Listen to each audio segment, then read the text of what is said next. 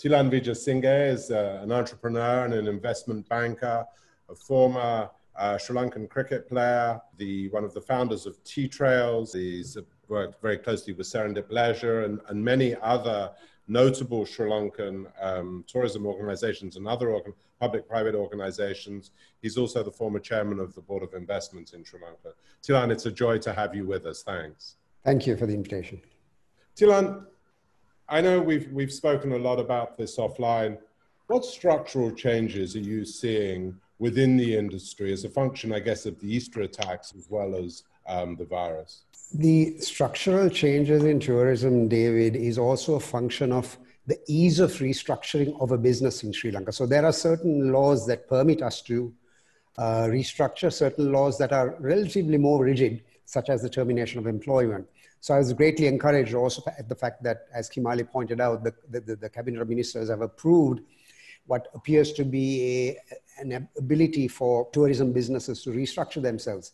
So I think the fundamental changes that are going to happen post the restructuring, I believe there'll be a shrinking of inventory. There'll be a greater focus on both the indigenous brands as well as the international brands would look at Sri Lanka again because there will be opportunities for acquisitions, particularly those brands that acquire their own assets.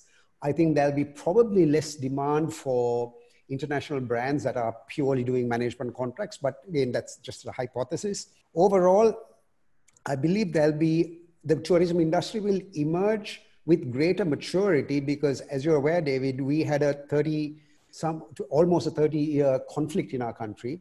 And when the conflict entered, ended in 2009, many first time tourism entrepreneurs embarked on products, tourism products, and tourism ventures that were wrongly positioned, poor management, wrong product in the wrong location. And I think those hotels that were doing relatively poorly pre the Easter attacks may go through a recycling of capital. So there could be very well be fresh capital coming in, more mature management, and we'll see an industry that is emerging far more stronger with better management, greater capital for refurbishment. What are the incentives?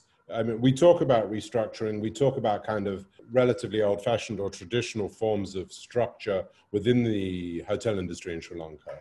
What are the incentives for investors and what are the incentives for owners now to, to make these changes? Well, the incentives are primarily tax holidays and accelerated depreciation allowances. There's also foreigners can actually lease land for 99 years unlike in the case of Thailand, where it's a shorter period. And foreign foreigners can also own strata title apartments. Uh, so therefore, the legal framework is by and large in place. I believe that the government is also announcing a package of incentives. They have reactivated what is called the Strategic Development Projects Act, which allows very liberal uh, tax incentives to be given, particularly to large scale investors. Uh, and of course, we have the Board of Investment, where when you make an investment, the, whether it's local or foreign owned, the BOI signs an agreement, and those incentives are then enshrined in the agreement for the duration of the uh, uh, business.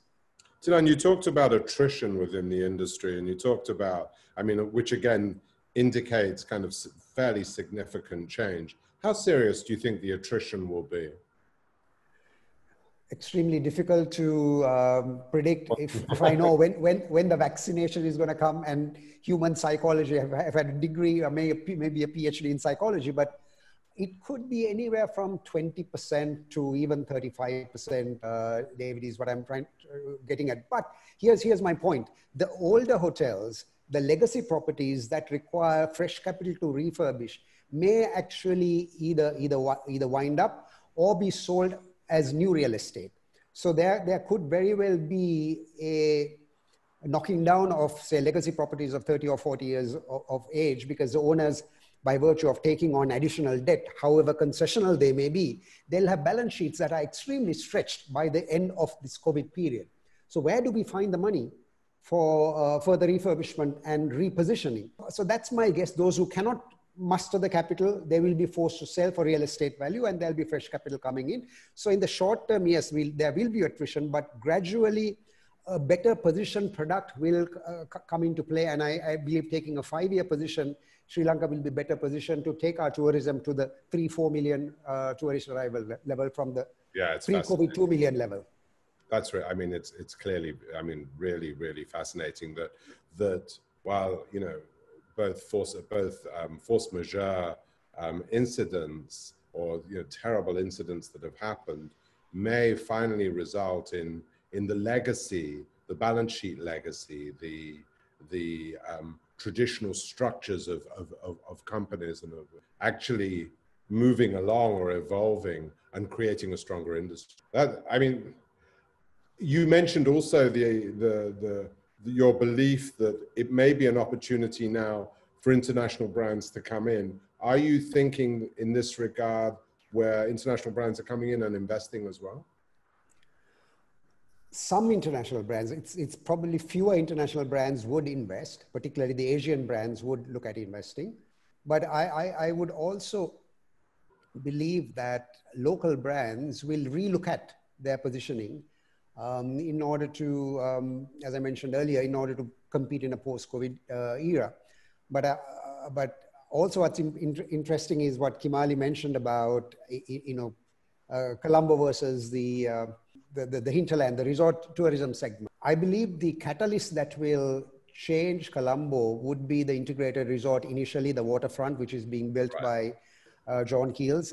By the time it opens, it'll probably be a year, year and a half down the road. I think this COVID will be history. And for the first time, we will have an integrated resort in, in South Asia. And I expect eventually the MICE business, the conventions business, and the, uh, uh, the, the entertainment, the shopping business to emerge. The government is looking at tax policies to make Colombo a shopping destination.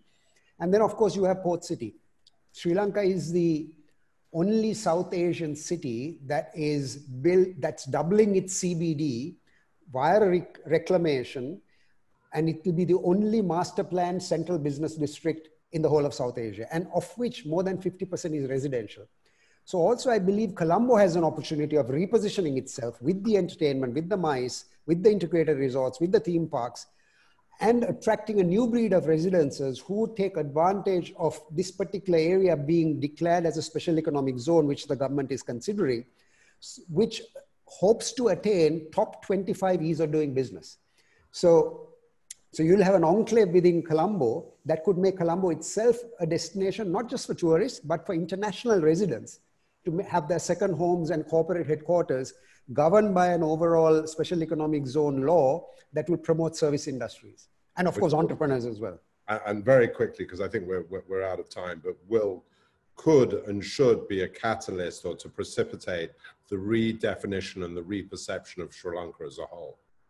Absolutely. I believe both Colombo and, and the resort destinations, it's time for us to drill down and get our positioning right, get our product right, get our service uh, portfolio right. And it's, as Kimarli mentioned, however tragic it might be, it is a good chance for us to reflect and reposition the country going forward.